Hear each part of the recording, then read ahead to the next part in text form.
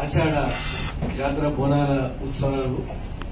ప్రతి సంవత్సరము మనం బిఫోరే తలసాని శ్రీనివాస్ యాదవ్ గారి ఆధ్వర్యంలో ఈ సిటీ యొక్క అందరి అధికారులను ప్రజాప్రతినిధులను అదేవిధంగా ఆ ఉమ్మడి దేవాలయాలు దేవాలయాల యొక్క ట్రస్ట్ చైర్మన్ అందరూ పిలిచి ఇంత మంచి మంచి వాతావరణంలో మనం ఏర్పాటు చేసుకోవడం జరుగుతుంది.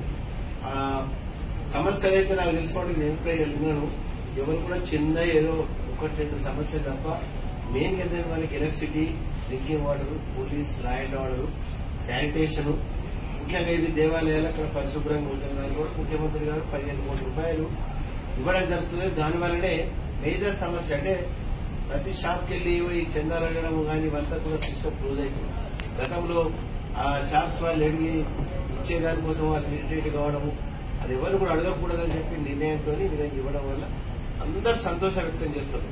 మంచి అలంకరణ కలర్స్ చేయడము లైటింగ్ పెట్టడము ఆ యొక్క వచ్చినటువంటి భక్తులందరికీ మంచినీటి ప్యాకెట్లు ఇవ్వడము ప్రసాదాలు ఇవ్వడము.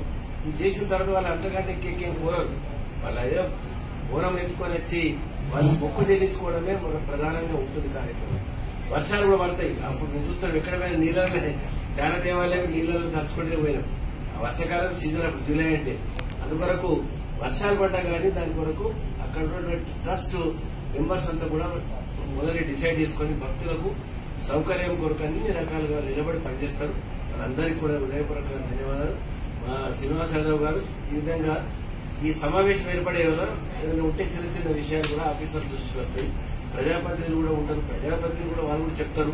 అందరు కూడా మంచి మత సామ్రాజ్యం దృష్టిలో పెట్టుకుని అందరూ కూడా మంచి వాతావరణంలో మరి గంగా జమున దయచేపు మరి దానివల్ల ముందుకెళ్ళాలని చెప్పి కోరడం జరుగుతుంది కాబట్టి అందరికీ ధన్యవాదాలు. మా శ్రీనివాస్ అన్నకు మరోసారి ప్రత్యేకంగా ఎందుకంటే ఇది ఏర్పడేయడం మూలంగా అందరూ కూడా సంతోషంగా